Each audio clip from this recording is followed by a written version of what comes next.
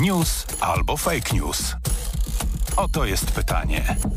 W naszym studiu ekspert do spraw telekomunikacji i technologii 5G Michał Połzun. Witam serdecznie. Dzień dobry panu i dzień dobry państwu. Przypomnę, że walczymy z fake newsami, a dziś pytanie krążące w internecie. Czy kasztany chronią przed promieniowaniem elektromagnetycznym? No i na tak postawione pytanie, ym, mhm. znaczy można odpowiedzieć tak albo nie. Bo w zależności od tego, jak te kasztany zastosujemy, to one mogą w jakimś tam stopniu chronić, czyli powiedzmy ekranować, nie tyle co chronić, co ekranować fale radiowe, a mogą równie dobrze tego nie robić zupełnie. -hmm. Co do zasady, każdy obiekt, nawet kasztan, jest dla fal radiowych pewną przeszkodą, podczas pokodowania której one tracą część swojej energii. Czyli mówiąc krótko... Blokują. Tak? Blokują, tak. -hmm. Budując mur z kasztanów e, e, i ukierunkowując energię z telefonu, czy ze stacji bazowej, czy innego źródła, to co nam po przejściu zostanie, to będzie mniej niż przed tym murem z kasztanów. Mm -hmm. Ten stopień jest niewielki, aczkolwiek fake news zrobił się na tyle popularny, bo kasztany są w ogóle popularne, ludzie lubią kasztany przypisuje się im bardzo różne e, właściwości prozdrowotne. Ale że blokują fale elektromagnetyczne, to nie przypuszczałbym. No ja tam gdzieś czytałem, że wystarczy, prawda, położyć kasztan gdzieś tam na miseczce w pokoju, prawda, i całą złą energię się blokuje wtedy. A, że to w takich ilościach. Ja myślałem, że to trzeba ścianę grubości kilkudziesięciu no, no, centymetrów z kasztanów zbudować, żeby to zablokowało falę. Dlatego powiedziałem na samym początku, że to jest fake news i to nie jest fake news. Jeżeli chodzi o to, że wystarczy położyć garść kasztanów gdzieś tam w miseczce w jednym pokoju i jesteśmy bezpieczni, no to oczywiście jest to nieprawda. Natomiast jeżeli przychodzimy do tego tak powiem, drugiego Drugiej wariantu, tak. czyli postaramy się, tak powiem, oblec w kasztany, to tutaj już e, sprawa nie jest taka oczywista. Znaczy co, zakładamy na siebie kasztanową zbroję? Kasztanowy kubraczek na przykład. Koledzy z Instytutu Łączności właśnie na kanwie popularności tego, tego fake newsa Kasztanowy kubraczek, proszę się nie śmiać. W swoim laboratorium postanowili tak by empirycznie i doświadczalnie stwierdzić, jak kasztany wpływają na blokowanie sygnału radiowego.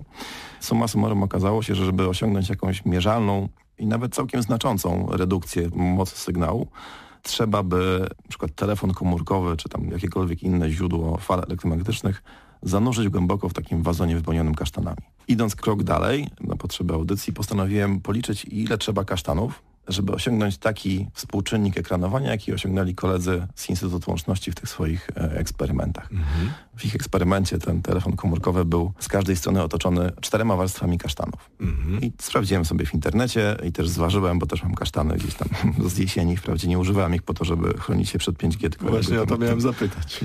Garść kasztanów waży 100 gramów. Kiedy się rozsypie płasko na blacie stołu na przykład, pokrywają na kwadrat 15 na 15 cm, więc korzystając z takich dosyć sprytnych kalkulatorów, które są w internecie, policzyłem swoją powierzchnię ciała, bo założenie jest takie, że trzeba się oblec z każdej strony, żeby to zadziałało. Wpisałem tam swoje parametry, ja ważę 90 kg, mam 1,84 m wzrostu i kalkulator pokazał mi, że powierzchnia mojego ciała to jest 2,1 metra kwadratowego. Więc potrzebowałbym 93 garście kasztanów, żeby otoczyć się jedną warstwą.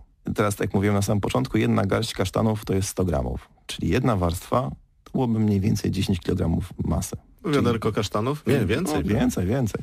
Więc żeby przywdziać się w kasztany, które rzeczywiście mogłyby mnie tam przed czymś w jakimś niewielkim stopniu ekranować, potrzebowałbym 40 kg kasztanów. I konkluzja była taka, no, że jest to zupełnie niepraktyczne, tak, no bo ciężko zakładać na siebie każdego dnia 40 kg kasztanów.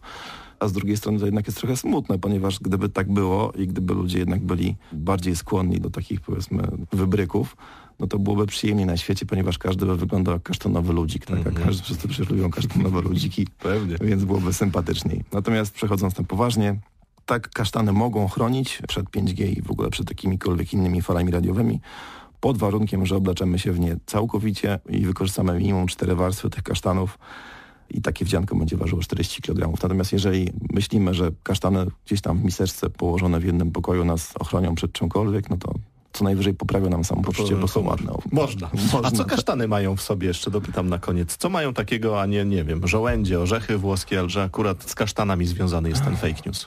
Bo kasztany są dosyć często panaceum na wszystko. W zależności od tego, na co szukamy panaceum, to zawsze gdzieś się znajdzie potwierdzenie, że kasztany też działają prozdrowotnie. Tłumacząc sam mechanizm, dlaczego one w tym eksperymencie zadziałały, mhm. w niewielkim stopniu, ale zadziałały, świeże kasztany zawierają bardzo dużo wody a woda mocno tłumi sygnał radiowy. To też jest ważny aspekt. To całe wdzianko z tych kasztanów trzeba dosyć regularnie odświeżać, ponieważ kiedy kasztany wysychają, tracą swoje właściwości ekranujące. Walczymy z fake newsami w ten sposób, proszę Państwa, z Michałem Połzunem, ekspertem do spraw telekomunikacji i technologii 5G i miłośnikiem kasztanów też. Tak, w innym względzie niż dziś rozmawialiśmy. Dziękuję za spotkanie. Audycja współfinansowana z projektu Sprawna telekomunikacja mobilna jako klucz do rozwoju i bezpieczeństwa, realizowanego przez Ministerstwo Cyfryzacji we współpracy z Instytutem Łączności Państwowym Instytutem Badawczym w ramach programu operacyjnego Polska Cyfrowa Działanie 3.4.